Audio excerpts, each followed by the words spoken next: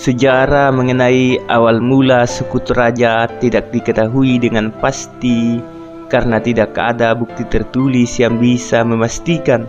Namun, sejarah mengenai suku Toraja diceritakan secara turun-temurun dari generasi ke generasi sehingga masih diketahui oleh beberapa orang saat ini.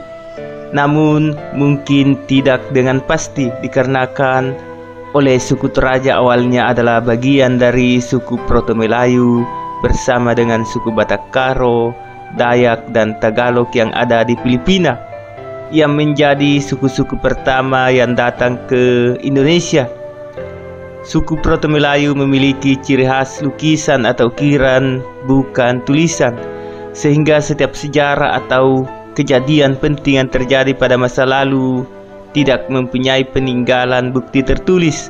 Suku ini berasal dari beberapa wilayah yakni Dongson, Annam, Yunan, di Cina sebagian dari Mongolia.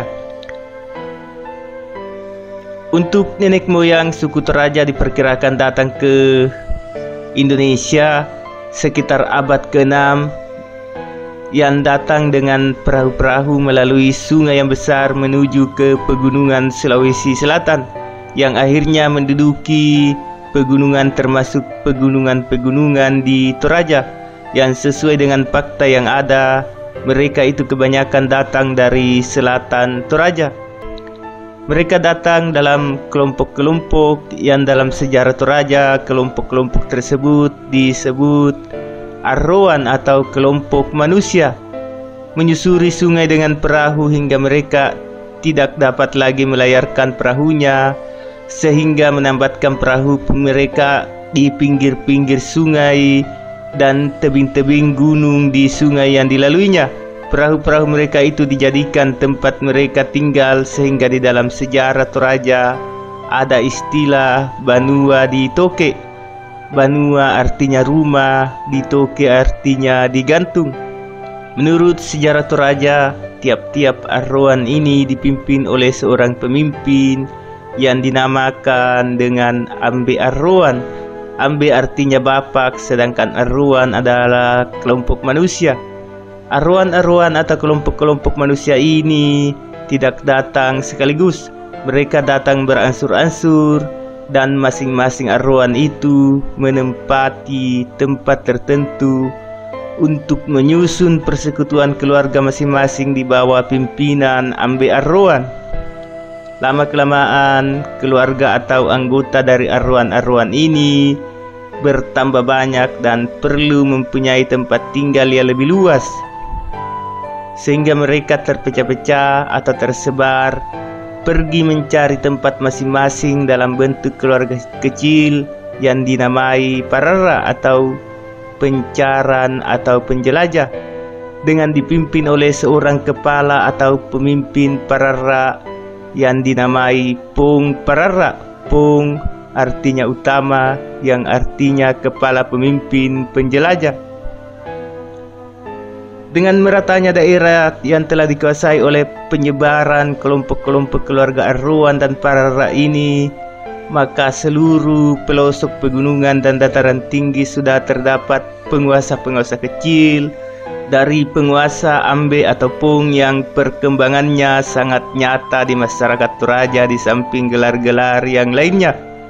Lama-kelamaan kelompok-kelompok kecil ini atau para ini menjadi besar serta anggotanya semakin banyak dan mereka berkuasa di masing-masing tempat mereka berkuasa dan mereka mempunyai pemerintahan sendiri seperti Arroan yang dinamakan pula Pung Arroan. Beberapa kelompok Arroan dan Parara ini menyebar jauh ke utara hingga mencapai Rantepao, kemudian semakin menyebar ke bagian utara Rantepao. Ada juga kelompok arruan yang menyebar lebih jauh lagi ke Galumpang, Maki, Mamuju, Pantilang, Rongkong, Seko Dilu, Supirang di Pindrang, dan Mamasa. Beberapa waktu kemudian datanglah kelompok-kelompok baru dengan masing-masing kelompok dipimpin oleh seorang yang diberi gelar Puang. Puan dari kata Puang Lembang disebutkan sebagai pemilik. Puang artinya pemilik Lembang artinya kapal. Kemungkinan besar juga masih berasal dari daerah yang sama dengan kelompok Arroan yakni dari Indochina. Mereka datang dari arah selatan dengan perahu-perahunya dan pengikutnya melalui sungai. Setelah perahu mereka tidak lagi dapat melalui sungai karena air yang deras dan berbatu-batu, maka sebagian menambatkan perahunya dan sebagian membongkar perahunya dan membawa kerangkanya ke gunung tempat mereka akan tinggal bersama dengan pengikutnya karena belum ada tempat bernaung sehingga mereka membuat rumah dari kerangka perahu yang mereka bongkar itu. Dalam sejarah Toraja disebut tempat perkampungan yang pertama dari Puang ialah Bamba Puang atau Bamba artinya pangkalan atau pusat sedangkan Puang adalah yang memiliki. Penguasa-penguasa ini mempunyai tata masyarakat tersendiri dan memiliki cara pemerintahan tersendiri namun mereka masih dalam kelompok kecil di daerah Bamba Puang. Dari sinilah mereka kemudian menyebar ke daerah lain dan menjadi penguasa daerah yang ditempatinya dan tidak lagi dikenal sebagai puang lembang atau pemilik perahu, tetapi puang dari daerah yang dikuasainya misalnya Puan Lembang, pemilik perahu, Puan Ribuntu, penguasa daerah Buntu, Puan Ritabang, penguasa daerah Tabang, Puan Ribatu, penguasa daerah Batu, Puang Risupi, penguasa daerah Supi, dan lain-lain. Setelah para puang yang menguasai tiap tempat makin bertambah banyak pengikutnya, maka timbullah persaingan kekuasaan di antara mereka, di mana sebagian puang mulai merebut daerah kekuasaan Pung Parara atau Ambe Arroan yang lebih dulu memiliki kekuasaan terlebih dulu dan menimbulkan kekacauan dalam masyarakat. Hal ini membuat sebagian puang membujuk Pung Parara dan Ambe Arroan untuk bersekutu dan melawan puang yang lain. Persekutuan ini kemudian disebut Bongga. Bongga artinya besar, hebat, dan dahsyat. Sebagai pimpinan Bunga maka diangkat Puang yang kuat di antara mereka yang dalam kedudukannya dinamakan Puan Bunga yang memiliki kekuasaan yang kuat dan hebat seperti yang dikenal dalam sejarah Toraja seorang penguasa Bunga yang terkenal adalah Puang Bunga Erung.